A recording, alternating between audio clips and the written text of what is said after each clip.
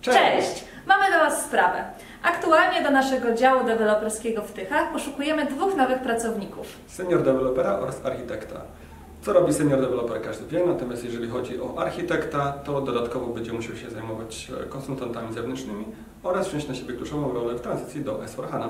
Link do ogłoszeń rekrutacyjnych znajdziecie tutaj Albo tu, albo tu. albo tu. W każdym bądź razie na rozmowach rekrutacyjnych spotykacie się z nami, ale wtedy wyglądamy trochę inaczej.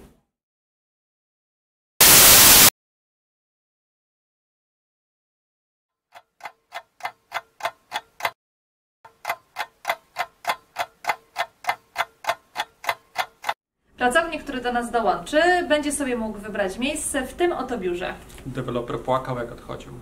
Jeśli chcesz się z nami skontaktować albo uzyskać więcej informacji, link znajdziesz gdzieś tutaj.